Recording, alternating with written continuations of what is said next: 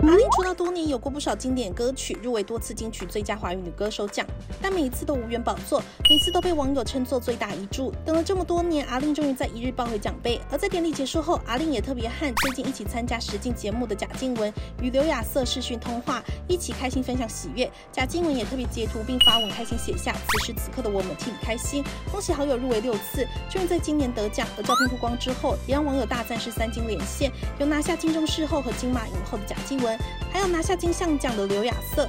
搭上刚夺得金曲奖的阿令，让网友们纷纷大赞这组合实在是太有才华啦。